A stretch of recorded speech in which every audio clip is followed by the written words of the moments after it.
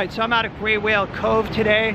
Sort of the end of the day here. I've got about two hours of sunlight left. Here is the scene I'm working with. I have painted this scene before in a smaller, uh, more rectangular format, but it's gonna be fun experimenting, trying to get a good composition out of a square.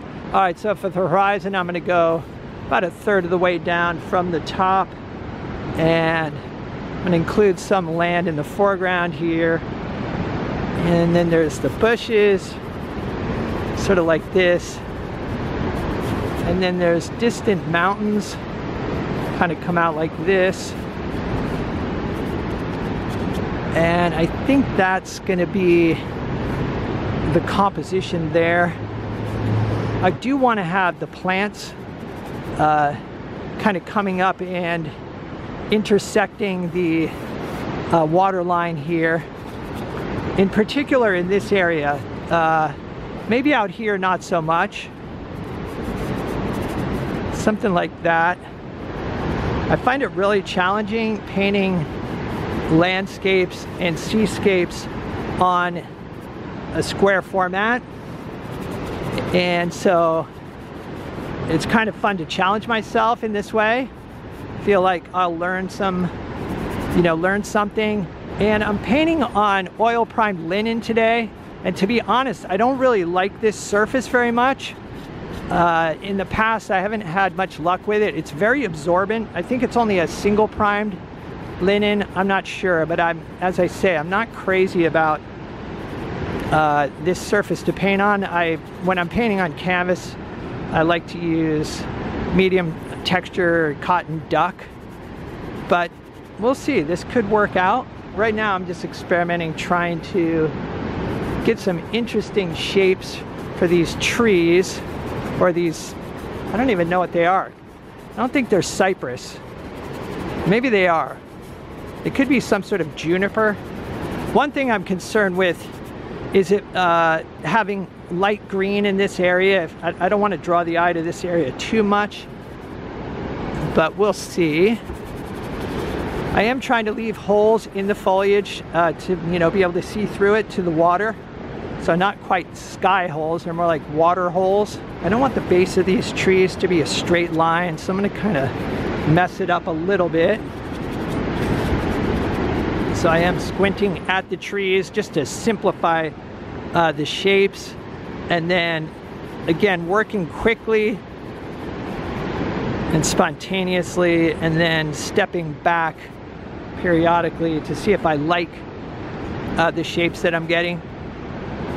This dark pattern here is really the most important part of the painting and so I want to make sure that I get these tree shapes or plant shapes uh, to a place where I'm happy with them before progressing in the painting. I'm using the trees as inspiration, but the priority is getting a good abstract pattern.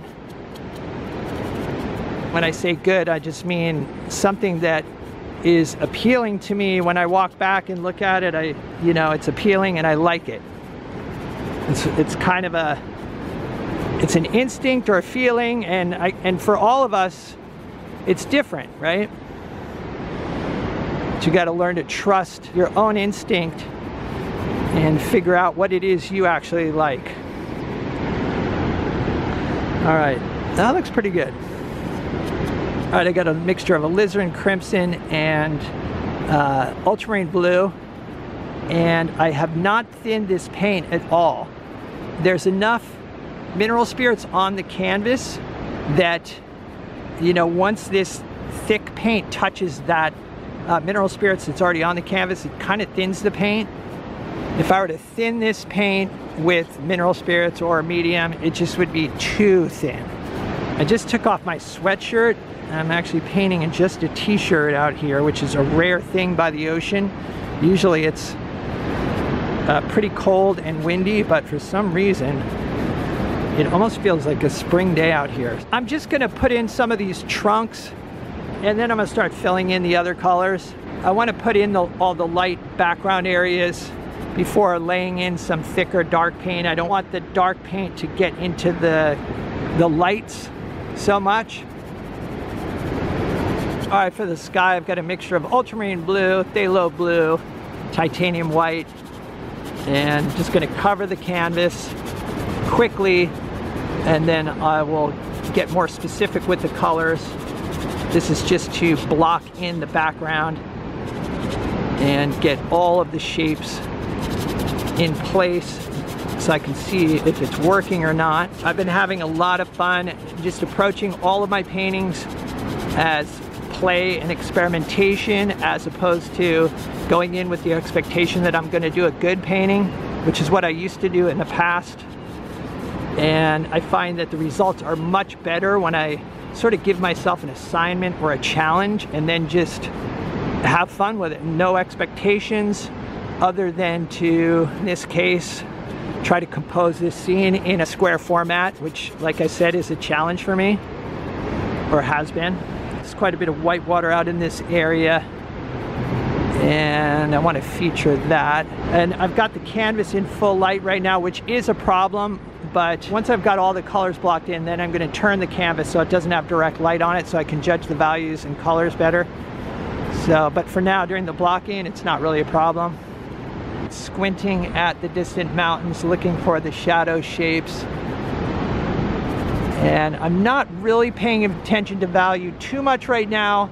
I mean, a little bit. I'm approximating values because I know that I want to keep these distant mountains uh, lighter in value, like keep the contrast low so it's more high key in the background. In other words, these darks are not that dark.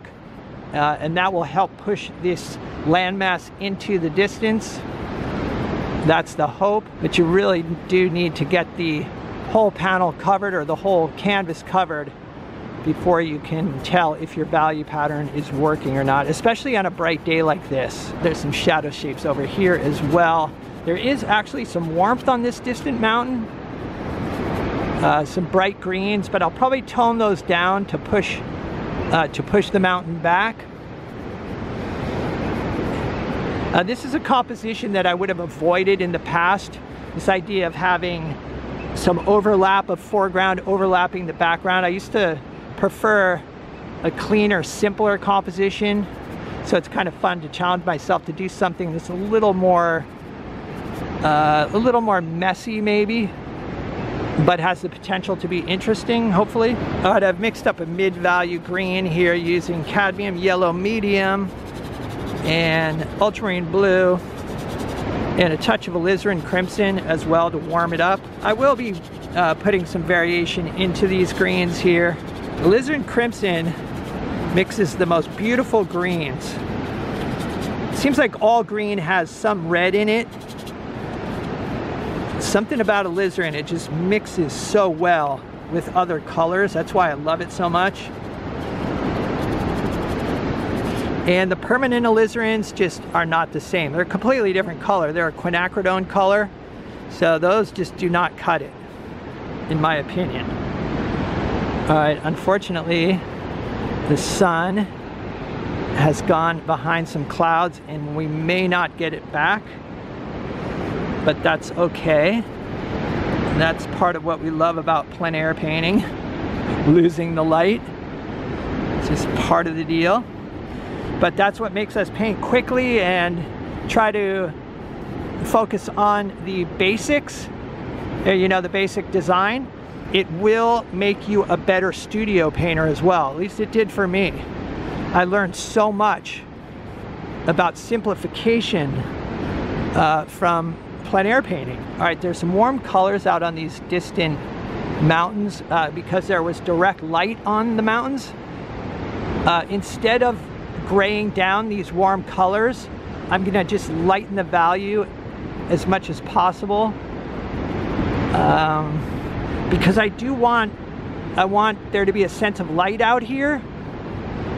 And so I think by keeping the contrast uh, fairly delicate here between the lights and the darks and go almost more with like a temperature shift as opposed to a value shift. My hope is that that'll push those mountains back and I think it's working so far.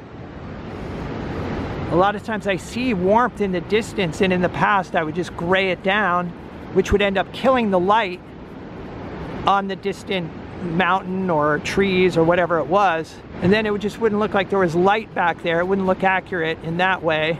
You know, and it may have been that the light on the distant mountains or distant trees or whatever is something that I was attracted to. So by lightening the value and reducing the contrast, you get the best of both worlds. You can get your warmth and you get your sense of depth.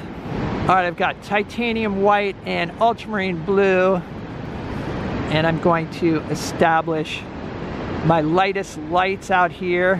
One thing I notice about these canvases too is that I'm not sure why, but the lights just do not appear to be as light as when I paint on a, a less absorbent canvas or surface, which I guess makes sense. All right, some pretty big waves rolling in here. Then there's also some white water out at the point. There's some rocks out here too I'll be adding. All right, at the base of the rocks, it's kind of dark. So I'm going with a mixture of ultramarine and burnt sienna. I want some contrast with the white water and I'm feeling like I wasn't getting it. So I'm uh, paying attention to this relationship between the dark portion of the cliffs and the whitewater. And I think I'm gonna have to, I, I'm definitely gonna have to darken some of this water here and possibly lighten the sky. All right, I'm lightening up the sky a little with some thick paint. This is titanium white and ultramarine blue. And the thickness is you know, straight out of the tube thickness. Loading up the brush with as much paint as possible using a number eight natural bristle flat. There is more saturated blue up in this area, but down lower, it's lighter in value.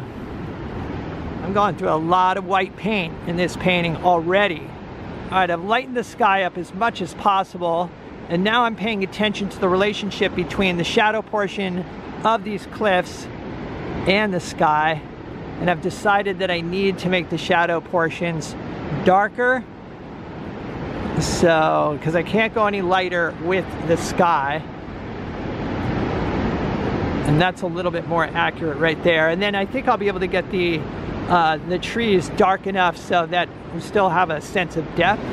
All right, reinforcing the light portion of these cliffs or this mountain or whatever it is. Some lighter portions down along the water line as well.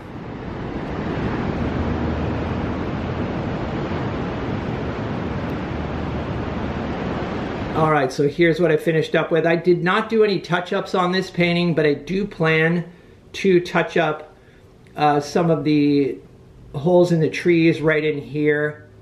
Uh, maybe darken this section right here. But I do like the sense of depth in this painting. I'm happy with that. I did really struggle uh, with the mountains here or these distant hills because it did not feel like there was sufficient sun on them, so I just kept pushing and pushing the warmth.